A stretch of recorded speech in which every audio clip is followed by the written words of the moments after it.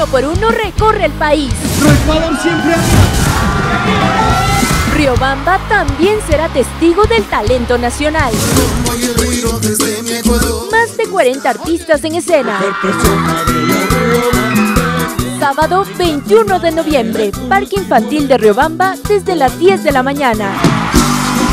Entrada gratuita. Ven con tu familia.